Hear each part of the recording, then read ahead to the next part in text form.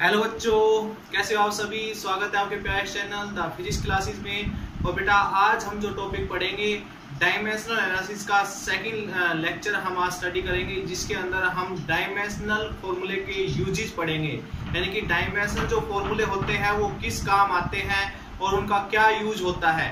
तो बेटा, यहाँ से देखिएगा, उससे पहले हम एक छोटा सा प्रिंसिपल है, वो पढ़ लेते हैं। तो प्रिंसिपल ऑफ़ होमोजिनिटी मैंने लिखी हुई इसकी डेफिनेशन पहले से प्रिंसिपल ऑफ़ होमोजिनिटी क्या कहता है प्रिंसिपल ऑफ़ होमोजिनिटी ये कहता है कि only those physical quantities can be added यानी कि उन्हीं फ़िज़िकल क्वांटिटी को आप ऐड कर सकते हो या सब्सट्रैक्ट कर सकते हो विच हैव सेम डायमेंशनल या अब सेम डायमेंशनल फॉर्मूले या सेम यूनिट उनकी होनी चाहिए।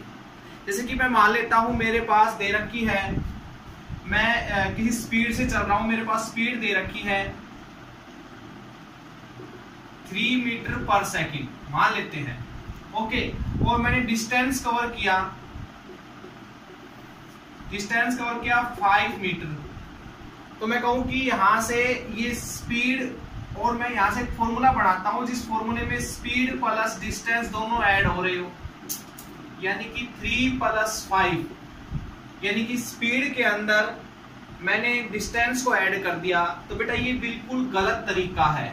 ऐसे आप कभी भी नहीं कर सकते हो। इसका मीनिंग क्या समझाना चाह रहा हूँ मैं? समझना ध्यान से। इसका मीनिंग ये है कि थ्री के अंदर फाइव ऐड नहीं हो सकता। थ्री के अंदर फाइव तभी ऐड हो सकता था जब फाइव भी डिस्टेंस ही स्पीड होता सॉरी स्पीड स्पीड ही होता। है यानी कि मैं ये कहता हूँ कि एक आदमी की स्पीड थ्री मीटर है, दूसरे आदमी की speed five metre per second है।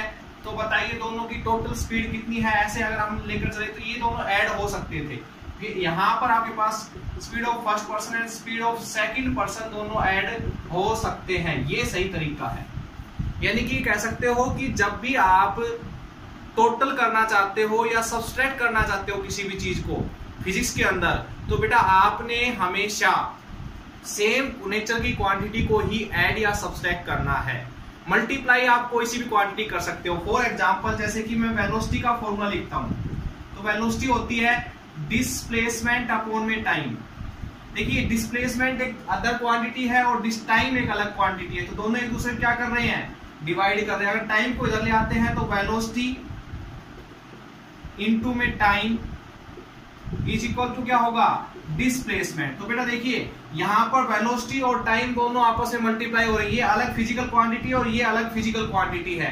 तो वेलोसिटी और टाइम यहाँ पर मल्टीप्लाई हो, रहे हैं। तो यहाँ से ये कह सकते हो कि दो अलग अलग नेचर की फ़िज़िकल क्वांटिटी आपस में डिवाइड भी हो सकती है मल्टीप्लाई भी हो सकती है लेकिन कभी भी अलग नेचर की फ़िज़िकल क्वांटिटी ऐड या सब्सट्रैक्ट नहीं हो सकती।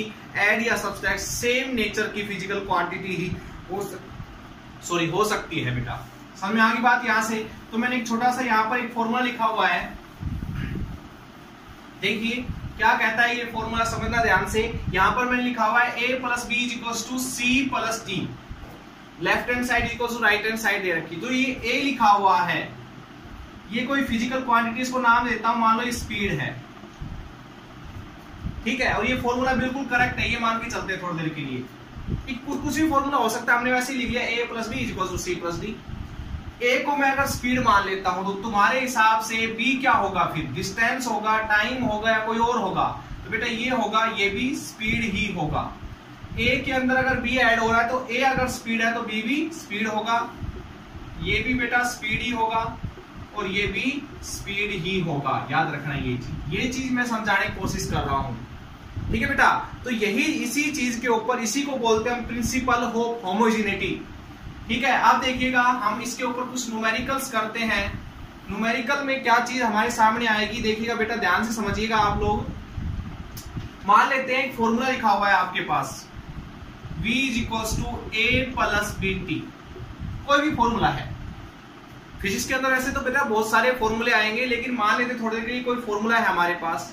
और इसने कह दिया कि ये जो है, ये वेलोसिटी है, या स्पीड है, कुछ भी। ए नहीं पता क्या है बी पे नहीं जानते टी यहाँ पर टाइम है। तो आपसे कह दे कि ए का और बी का डायमेंशनल फॉर्मूला बताइए क्या होगा। ए का और बी का डायमेंशनल फॉर्मूला बताइए क्या होगा। तो बेटा ए और बी का डायमेंशनल फॉर्मूला आपने निकालना है। तो मैं आपसे, हमने अभी कहा कि ये अगर बेटा, ध्यान दीजिएगा मेरी बात पे, अगर ये वेलोसिटी है तो ये भी वेलोसिटी होगी और ये पूरा भी वेलोसिटी ही होगा। यानी कि ए ये कह सकते हो डायमेंशनल फॉर्मूला ऑफ़ वी या फिर ए लिखो पहले। ए का जो डायमेंशनल फॉर्मूला का, वही होगा जो वेलोसिटी का था। तो डायमेंशनल फॉर्मूला ऑफ़ बी के इक्वल होगा। ठीक है बेटा? बी के इक्वल होगा। तो बी का डायमेंशनल फॉर्मूला क्या होता है? M zero L one T minus one तो ए का डायमेंशनल फॉर्मूला भी बेटा यही हो गया। क्लियर तो आपसे ए और बी का डायमेंशनल फॉर्मूला निकालने के लिए कहा था। ए का डायमेंशनल फॉर्मूला निकल गया। ओके अब देखिए बेटा बी का डायमेंशनल फॉर्मूला निकालते हैं। तो देखो, वही चीज़ लेकर चलते हैं कि dimensional formula of BT BT का dimensional formula dimensional formula of V V के डायमेंशनल फॉर्मूला इक्वल हो गया ए के डायमेंशनल फॉर्मूले की इक्वल भी हो सकता है इसका पूरे का डायमेंशनल फॉर्मूला क्योंकि दोनों सेम फ़िज़िकल क्वांटिटी है। तो बेटा यहाँ से बी टी इधर क्या होगा? M one sorry M zero L one T T minus one okay अच्छा टी यहाँ पर टाइम है. तो टाइम का डायमेंशनल फॉर्मूला क्या होगा बेटा? तो टाइम का होगा टी जो इधर जाके क्या हो जाएगा? डिवाइड हो जाएगा. तो टी वन लिख लेंगे. तो डायमेंशनल फॉर्मूला ऑफ़ बी आ गया आपके पास ये. तो बेटा यहाँ से सोल्व कीजिए इसको. तो बी का डायमेंशनल फॉर्मूला क्या आएगा? बताइए मुझे. क्या आएगा बी का dimensional formula M naught L one T minus two okay बेटा तो ये डायमेंशनल फॉर्मूला आ गया आपके पास बी का। यानी कि बी को अगर डायमेंशनल फॉर्मूले के हिसाब से देखें तो डायमेंशनल फॉर्मूला किसका होता है ये? एक्सलरेशन का। ठीक है तो बी का डायमेंशनल फॉर्मूला एक्सलेशन जैसा है तो बी को हम एक्सलेशन भी बोल सकते हैं। ठीक है बेटा बात आई समझ में यहाँ से आपको? ओके, और भी हम इसके ऊपर क्वेश्चन करते हैं। ध्यान दीजिएगा, एक क्वेश्चन और कर लेते हैं इसी के ऊपर।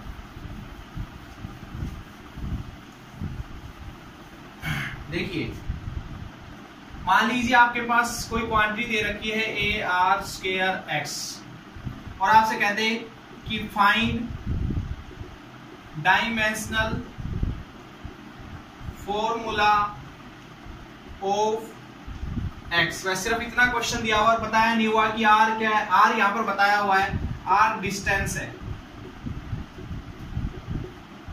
ठीक है बेटा? तो ये चीज़ दी हुई है कहता है कि एक्स जो यहाँ पर लिखा हुआ इसका डायमेंशन फॉर्मूला बताइए।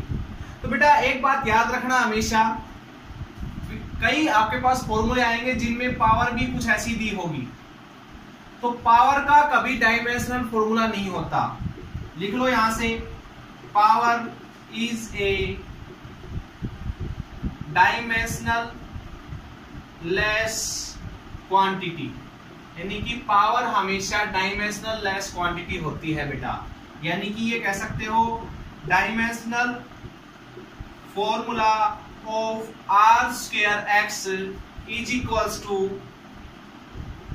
M naught L naught T naught यानी कि कोई डायमेंशन फॉर्मूला नहीं होता तो M naught L naught T naught देखिए बेटा, यहाँ पर आर स्केयर डिस्टेंस है तो डिस्टेंस के लिए क्या लेके चलते हैं हम? एल स्केयर वो इधर आ जाएगा X M naught L naught T naught तो यहाँ से एल स्केयर उधर नीचे डिवाइड में जाएगा तो एल यहाँ से M naught L minus two हो जाएगा, क्योंकि डिवाइड में जाएगा तो ऊपर जाके पावर माइनस में तो डायमेंशनल फॉर्मूला ऑफ़ एक्स बेटा आपका ये आ गया।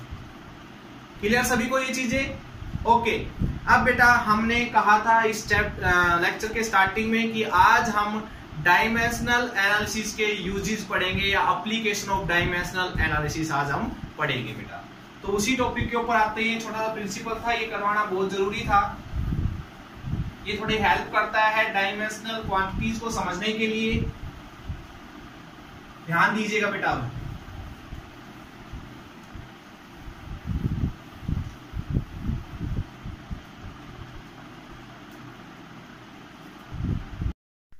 हाँ तो बच्चों फ़र्स्ट एप्लीकेशन है, आज हम पढ़ेंगे कि एप्लीकेशन ऑफ़ डायमेंशनल एनालिसिस जिसमें फ़र्स्ट एप्लीकेशन होगी see check to see equation is correct if equation is correct ऐसे लिख लेना इफ़ इक्वेशन इज़ करेक्ट यानी कि ये कह सकते हो कि क्या हमने कोई फॉर्मूला जो जनरेट किया है, उसकी इक्वेशन करेक्ट है या नहीं है?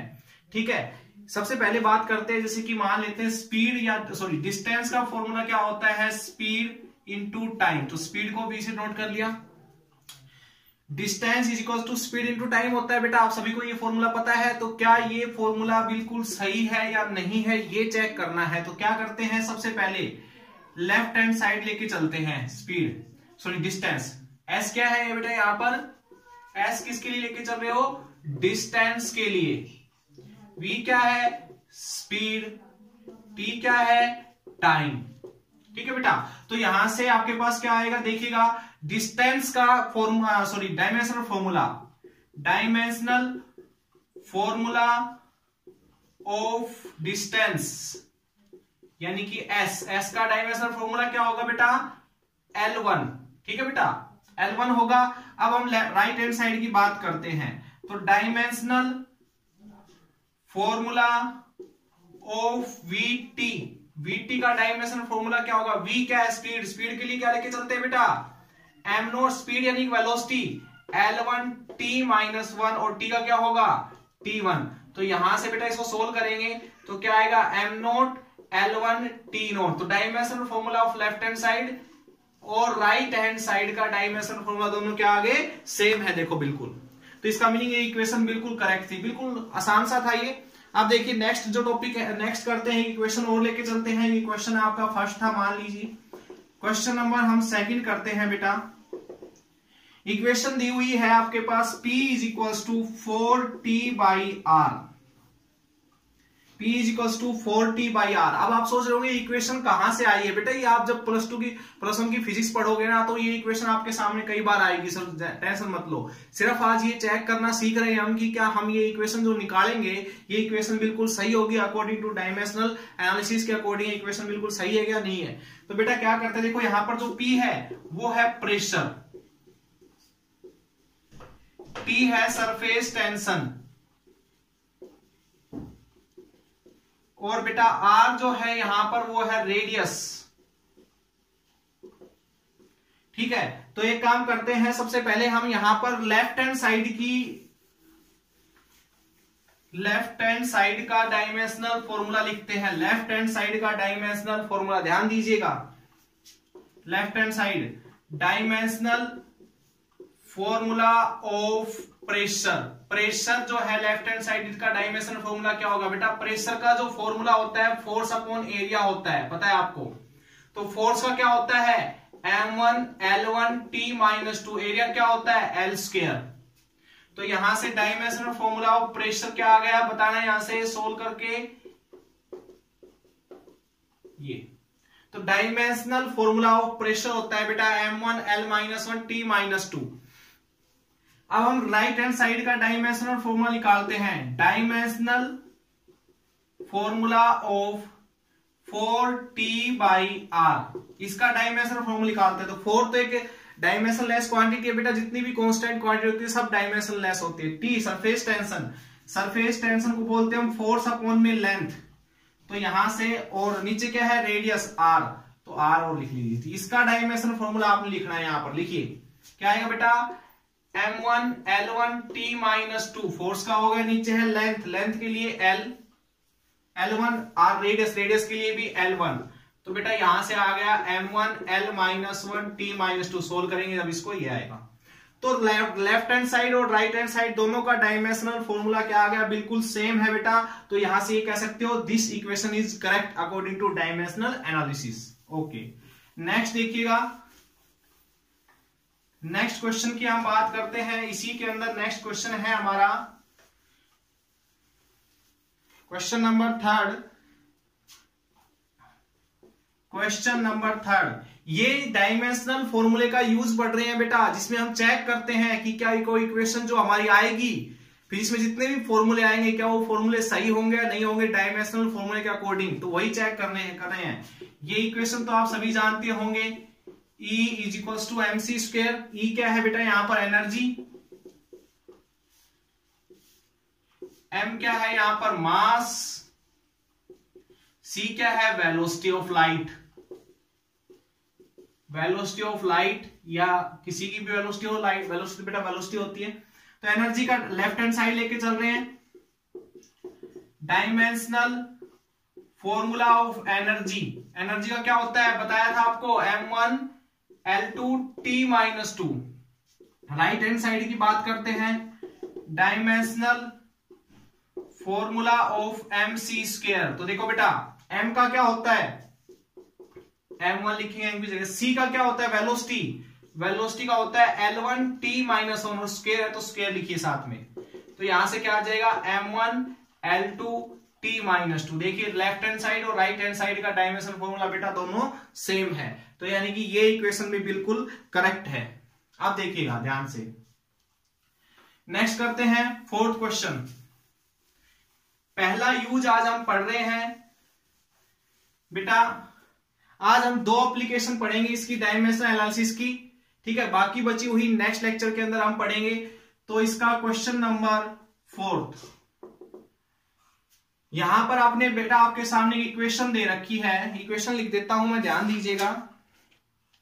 H R rho g by two T cos theta ध्यान दीजिए मेरी बात पे। ये एक इक्वेशन दी हुई है बेटा। अब आपको बता देता हूँ मैं, यहाँ पर एस तो है हाइट ओके आर क्या है बेटा? रेडियस ठीक है। रो क्या है? डेंसिटी अभी ये चीज़ें आपने कहीं बेटा डेंसिटी जी इन सब चीज़ों के बारे में आप बहुत कम बच्चे हैं जो जानते होंगे, लेकिन थोड़ी देर के लिए भी सिर्फ़ इनको एक हिसाब से समझ के चलिएगा। ठीक है? ये सारी चीज़ें बेटा जो आप फिजिक्स पढ़ोगे नेक्स्ट आती जाएगी। तो आज सिर्फ़ ये आपने समझना है, ज़्यादा कुछ इनपे प्रेशर नहीं लेना है। देखिए जी क्या है? एक्सलेशन ड्यू टू ग्रेविटी यानी कि हिसाब से एक्सलेशन ही होता है। ग्रेविटी की वजह से जो एक्सलेशन होता है, उसको एक्सलेशन ड्यू टू ग्रेविटी बोलते हैं। टी यहाँ पर जो है, वो टेंशन है। यानी कि सरफेस टेंशन सरफेस टेंशन लिख लेना सॉरी ठीक है बेटा? तो ये है। अब देखिएगा चेक करते ये फॉर्मूला सही है या नहीं है।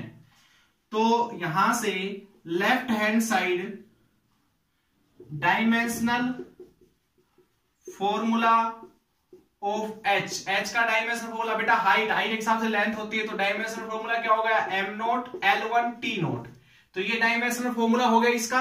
अब देखिएगा राइट हैंड साइड के डायमेंशनल फॉर्मूले की बात करते हैं। Dimensional formula of R rho g upon में two T cos theta R क्या है बेटा? रेडियस तो रेडियस के लिए हमेशा लेंथ की, वाला ही डायमेंशन फॉर्मूला लेके चलते हैं। एल वन ले लिया। रो क्या है? डेंसिटी डेंसिटी होती है बेटा मास अपॉन में वॉल्यूम आपको करवाया भी था मैंने ये। तो मास के लिए m1 वॉल्यूम के लिए एल क्यूब तो क्या हो गया? M1 l माइनस थ्री तो रखिए यहाँ पर। M1 l minus three okay g क्या है बेटा? एक्सलेशन एक्सलेशन का डायमेंशन फॉर्मूला होता है l1 t minus two okay नीचे टू एक कांस्टेंट इसका डायमेंशन फॉर्मूला नहीं होता। टी सरफेस टेंशन का अभी निकाला था हमने। M1 l zero t minus two ये होता है सरफेस टेंशन का dimension formula cos theta trigonometry यानी कि एक हिसाब से कह सकते हो angle angle dimensionless quantity होती है। तो इसको सोल्व करेंगे बेटा, देखो, क्या आएगा? एम से एम कैंसिल और यहाँ से L1 L1 तो यहाँ पर बचेगा ऊपर। M तो बचेगा नहीं क्योंकि नीचे एक एम ऊपर एक m तो जेम ज़ीरो हो गया। L की पावर माइनस थ्री और यहाँ से एक एल ले रहा एक l ले रहा तो l की पावर माइनस वन बचेगी। टी स्क्र से टी स्क्र कैंसिल तो ये t की पावर भी ज़ीरो आ जाएगी। यानी कि यहाँ से ये वन अपोन में l आ गया। पावर माइनस में तो नीचे लिख लो, चलो एक काम करो। तो देखिए लेफ़्ट हैंड साइड का डायमेंशन फॉर्मूला आपका आ रहा था बेटा L one right hand side का डायमेंशन फॉर्मूला आ रहा है वन अपोन में एल तो यानी कि ये फॉर्मूला इनकरेक्ट है। करेक्ट नहीं है ये फॉर्मूला तो फिर करेक्ट कौन सा है बेटा फॉर्मूला देखिए, ये अगर इस चीज़ को मैं राइट हैंड साइड वाली चीज़ को पलट दूँ तो इसका डायमेंशन फॉर्मूला भी पलट जाएगा, यानी कि एल ऊपर चला जाएगा। तो यानी कि मैं ये कह सकता हूँ कि एच की जो इक्वेशन है, वो two T cos theta upon में आर रो जी ये होगी ना कि ये वाली इक्वेशन क्या समझे बेटा आप लोग? Two T cos theta upon में आर रो जी ये अगर इक्वेशन लेके चलोगे तो फिर left hand side right hand side के डायमेंशन फॉर्मूले सेम आएँगे। तो करेक्ट इक्वेशन बेटा आपकी ये हो।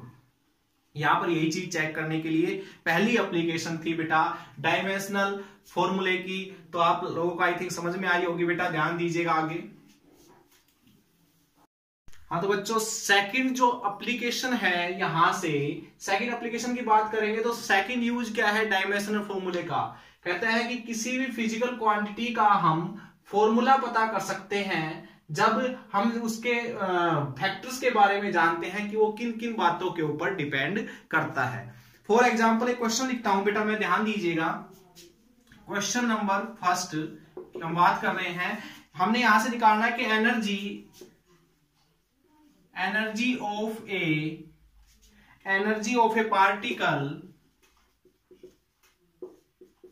executing with simple harmonic motion जब एक हमने एक पार्टिकल की एनर्जी निकालनी है जो सिंपल हार्मोनिक मोशन से वेव की तरह जो मोशन होता है ना ऐसे ऐसे एक पार्टिकल चल रहा है, मान लीजिए।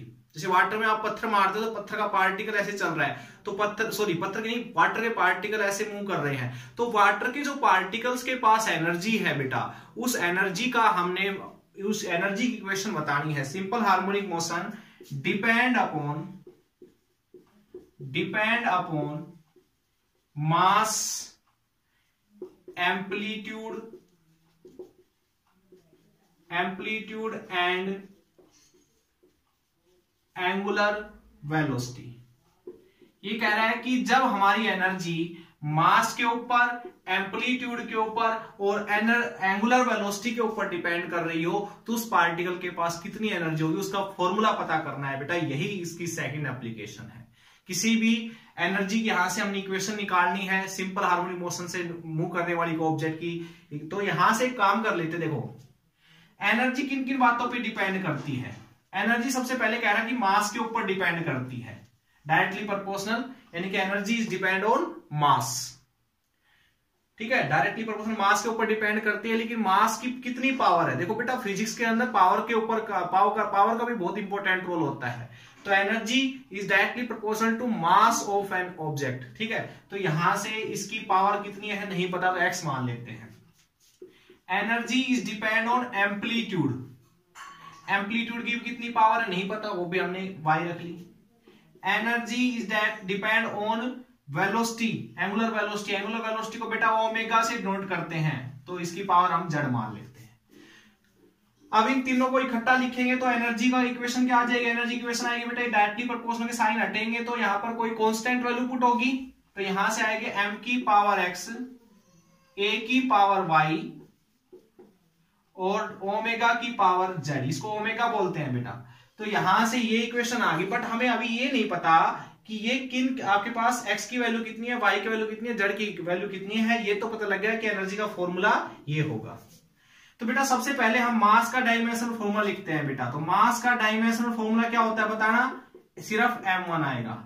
ये है एम्पलीट्यूड एम्पलीट्यूड होता है जो ये ऐसी वेव चलती है ना तो उसकी कितनी हाइट कितनी हाइट तक ऊपर जाती है। तो हाइट के हिसाब से क्या होती है? लेंथ तो एम्पलीट्यूड का डायमेंशन फॉर्मूला होगा बेटा L1 एंगुलर वेलोसिटी का फॉर्मूला होता है वेलोसिटी, एंगुलर वेलोसिटी का फॉर्मूला होता है वेलोसिटी अपॉन में रेडियस। तो वेलोसिटी का होता है L one T minus one L one तो यहाँ से आ जाएगा ये एल से एल कैंसिल नीचे रेडियस है ना, रेडियस के लिए एल वन ले लिया तो टी माइनस वन तो एनर्जी इधर का डायमेंशनल फॉर्मूला और इधर का डायमेंशनल फॉर्मूला बेटा दोनों सेम होंगे। या हम पीछे बता चुके प्रिंसिपल ऑफ़ होमोजेनिटी में। तो देखिए बेटा एनर्जी का डायमेंशनल फॉर्मूला ये के जो कांस्टेंट हमने लिया है अपनी तरफ़ से लगाया है बेटा, इसका कोई डायमेंशनल फॉर्मूला नहीं होता है। इसको हटा दो। एम का डायमेंशनल फॉर्मूला एम वन और उसकी पावर एक्स ए का डायमेंशनल फॉर्मूला एल वन और उसकी पावर वाई ओमेगा का dimensional formula T minus one और उसकी पावर जेड ये हो गया बेटा। आप देखिएगा, मेरी बात को समझिएगा ध्यान से। ध्यान से समझिएगा इस बात को। देखिए बेटा, इधर तो आ गया M one L two T minus two left hand side में। एम की पावर एक्स हो गई। इस एक्स को अंदर मल्टीप्लाई करेंगे। एल की पावर वाई हो गई और टी की पावर माइनस जेड हो गई।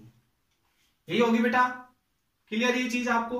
तो एक काम करेंगे, आप देखो, m की पावर x और इधर m की पावर वन है। तो देखो बेटा, जब भी आपके पास बेस सेम होता है तो पावर d इक्वल होती है, अगर बीच में इक्वल का साइन है तो। तो यहाँ से x की वैल्यू कितनी हो जाएगी? वन। ऐसे ही y, l की पावर y और l की पावर टू तो y की वैल्यू हो जाएगी टू और z माइनस जेड टी की पावर और इधर टी की पावर माइनस टू तो माइनस से माइनस कर जेड की वैल्यू हो जाएगी टू तो बेटा यहाँ से x की वैल्यू आ गई वन तो इसमें यहाँ पर उठा के रख दीजिए सारी वैल्यू. तो ये क्या फॉर्मूला क्या आ जाएगा? के m की पावर वन a की पावर टू और ओमेगा की पावर बेटा आई आपकी टू। तो ये होता है सिंपल हार्मोनिक मोशन में पार्टिकल की एनर्जी का फॉर्मूला बेटा। और इसका, इसको निकालने के लिए हमने यूज़ किया डायमेंशनल फॉर्मूलों का यूज़। ओके? एक क्वेश्चन और समझिएगा। इसी के ऊपर है बेस्ड ध्यान दीजिएगा। सेकंड क्वेश्चन की बात करते हैं बेटा हम। सेकंड एप्लीकेशन का सेकंड क्वेश्चन जो आपको हेल्प करेगा समझने में कि डायमेंशनल फॉर्मूला का यूज़ क्या क्या काम करता है। क्वेश्चन है बेटा, मैं लिख देता हूँ find the expression for find the expression for force on a falling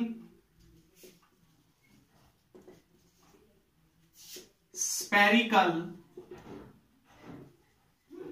spherical object spherical object of radius radius r in a fluid question मैं आपको समझाऊँगा कि क्या क्वेश्चन है बेटा ये in a fluid with viscosity eta इसको eta बोलते हैं बेटा फिजिक्स की लैंग्वेज में eta coefficient of sorry viscosity coefficient बोलते हैं बेटा इसको विस्कोसिटी कोफिशेंट लिखना है ऐसे, ये आपके पास दे रखा है गिवन है बेटा with speed with speed V जिसको हम टर्मिनल वेलोसिटी भी बेटा बोलते हैं। विद स्पीड वी जिसको हम टर्मिनल वेलोसिटी भी बोलते हैं। ये कह रहा है, देखो, ध्यान समझिए। मान लो पानी की एक बाल्टी भरी हुई है, बेटा। उसके ऊपर आप उस पानी की बाल्टी में एक बॉल घेरते हो तो बॉल जैसे ही पानी में एंटर करती, धीरे धीरे धीरे धीरे, मान लो नीचे पानी के नीचे जाने लग रही है। तो कहता है कि जब भी कोई एक स्पेरिकल ऑब्जेक्ट जब पानी के अंदर डालते हो तो पानी के ऊपर लगने वाले सॉरी बॉल के ऊपर लगने वाले फोर्स बेटा बॉल जब पानी के अंदर जाती है तो बॉल धीरे धीरे जाती है नीचे तो यानी कि बॉल के ऊपर फोर्स लग रहा है कहता उस फोर्स की इक्वेशन आप लोगों ने बेटा बतानी है। और फोर्स जो है बेटा रेडियस पे कोफिशिएंट ऑफ़ विस्कोसिटी पे और टर्मिनल वेलोसिटी के, इन तीन चीज़ों के ऊपर डिपेंड करता है बेटा। ध्यान दीजिएगा। ये कह रहा है कि force is directly proportional to radius जिसकी पावर हमें नहीं पता था एक्स मान लेते हैं। Force is depend on coefficient of viscosity जिसकी पावर वाई मान लेते हैं। फोर्स इज़ डिपेंड ऑन बेटा टर्मिनल वेलोसिटी जिसकी पावर हम जेड मान लेते हैं। तो बेटा इन तीनों को इक्वल रखेंगे तो क्या आ जाएगा? इकट्ठी करके लिखेंगे। तो फोर्स इन तीन चीज़ों से मिलके बनता है। तो यानी कि फोर्स का फॉर्मूला आपका यहाँ से हम कह सकते ये होगा। ठीक है बट यहाँ से एक्स वाई जेड की वैल्यू बेटा हमें नहीं पता। लेफ़्ट हैंड साइड का डायमेंशन फॉर्मूला आप जानते ही हो। M one L one T minus two होगा। के डायमेंशनलेस क्वांटिटी होता है। आर रेडियस है बेटा। तो रेडियस के लिए हम एल लेके चलते हैं, जिसकी पावर एक्स है। कोफिशिएंट ऑफ़ विस्कोसिटी की बात हम कर लेते हैं तो कोफिशिएंट ऑफ़ विस्कोसिटी बेटा आप नई चीज़ समझ रहे होंगे यहाँ से। कोफिशिएंट ऑफ़ विस्कोसिटी की का डायमेंशनल फॉर्मूला क्या होगा तो मैं आपको निकाल के दिखा देता हूँ। कोफिशिएंट ऑफ़ विस्कोसिटी निकालने के लिए बेटा आप सेवंथ नीट जो आएगी, उसमें फॉर्मूला पढ़ोगे आप। यहाँ से A delta V delta Z ऐसा कुछ आएगा बेटा आपका फॉर्मूला ठीक है, ये आप समझ लोगे तब। यहाँ से कोफिशिएंट ऑफ़ विस्कोसिटी का फॉर्मूला निकालना इसको डेल्टा जेड को इधर ले आओ।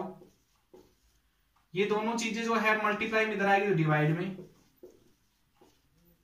ये। तो बेटा, यहाँ से इसका डायमेंशनल फॉर्मूला निकालते हैं। किसका? Dimensional formula of coefficient of viscosity बताना।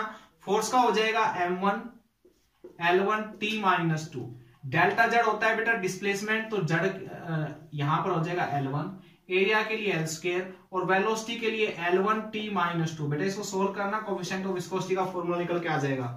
तो एम वन यहाँ से देखिए बेटा, यहाँ पर दो एल है ऊपर, नीचे तीन एल है। तो एक एल की पावर माइनस वन बचेगी, ये कैंसिल तो बेटा एक कोफिशिएंट ऑफ़ विस्कोसिटी का डायमेंशन फॉर्मूला आ जाएगा हमारे पास यहाँ से। अच्छा कुछ बस तो नहीं गया। एक बार फिर से चेक कर लेते हैं। सॉरी यहाँ पर ये माइनस वन आएगा। बेटा वेलोसिटी थी तो वेलोसिटी का आपके पास dimension L one T minus one होता है। तो ऊपर टी माइनस वन और बचेगा। ध्यान दीजिएगा टी माइनस वन और बचेगा। तो ये डायमेंशनल फॉर्मूला हो जाएगा कोफिशिएंट ऑफ़ विस्कोसिटी का। तो देखो बेटा, मैं इसको साफ़ कर देता हूँ। आप उतारना चाहते हो तो उतार लीजिए इसको। वीडियो को पॉज करके देखिएगा। तो बेटा हम बात कर रहे हैं कोफिशिएंट ऑफ़ विस्कोसिटी की। तो ऑफ़ विस्कोसिटी का dimension formula M one L minus one T minus one और जिसकी पावर है वाई अच्छा बेटा, उसके पास है वेलोसिटी वेलोसिटी का डायमेंशन फॉर्मूला आपको पता ही है L one T minus one Z तो बेटा ये आ गया। अब इन सबको सोल्व करेंगे और यहाँ से आपका एक्चुअल जो फोर्स का फॉर्मूला है वो निकल के आ जाएगा बेटा, देखिए। M one L one T minus two देखिए बेटा m की पावर वन है और जिसकी पावर y है तो m की पावर y लिख ले। ओके l की पावर यहाँ पर x l की पावर यहाँ पर माइनस वाई अंदर आएगा तो और l की पावर यहाँ पर z तो क्या होगी? देखो l की पावर ये सब बेस सेम है तो पावर जुड़ जाती है बेटा मल्टीप्लाई में हो तो, तो l की पावर x यहाँ पर माइनस वाई आएगी। चलो एक काम करते हैं इसको पहले हम इसको सोल्व कर लेते हैं अच्छी तरह से। M की पावर अंदर लो y t की पावर माइनस वाई एल की पावर अंदर मल्टीप्लाई करेंगे z और t माइनस जेड देखिए बेटा अब यहाँ से। M1 one L one T minus two तो बेटा यहाँ पर आपके पास क्या आ जाएगा? ध्यान दीजिए, m की पावर y, l की पावर x, l की पावर माइनस वाई एल की पावर जेड तो l की पावर क्या होगी? X minus Y plus Z जुड़ जाती है बेटा पावर ओके t की power minus Y minus Z तो ये आ गया बेटा। अब देखिए दोनों साइड अगर बेस सेम है और इक्वल का साइन है तो पावर भी सेम होगी। देखो, m की पावर y, m की पावर वन तो y की वैल्यू आ गई यहाँ से ये लगा लो, t की पावर देखो माइनस वाई माइनस जेड इधर t की पावर माइनस टू तो माइनस कॉमन लेके उधर लेके जाएँगे तो प्लस का हो जाएगा बेटा सब, और वाई की वैल्यू उठा के यहाँ रख लो जेड की वैल्यू कितनी आ जाएगी? वन प्लस टू तो बेटा ये जड़ की वैल्यू आ गई आपकी वन जड़ की वैल्यू आ गई वन ओके। जेड की वैल्यू वन आ गई बेटा। अब देखिए एक्स की पावर सॉरी एल की power X minus Y plus Z is equal to इधर कितना है बेटा? एल की पावर वन तो रख लिया हमने। यहाँ से जेड की वैल्यू वन रखो। और वाई की वैल्यू भी वन रखो। तो बेटा यहाँ से दोनों प्लस माइनस कैंसिल तो एक्स की वैल्यू भी आ गई वन तो यहाँ से जो हमारा फॉर्मूला बन गया, वो बन गया F is equal to K X की वैल्यू आई थी बेटा वन आर वन वाई की वैल्यू बेटा वन आई तो वन रखी यहाँ पर, और वी जेड की वैल्यू भी वन आई है तो ये बेटा आपके पास आ गया actual formula of force on a falling spherical object in a fluid clear तो ये थी बेटा दो एप्लीकेशन नेक्स्ट एप्लीकेशन हम डिस्कस करेंगे नेक्स्ट लेक्चर के अंदर. तब तक के लिए all the best and thank you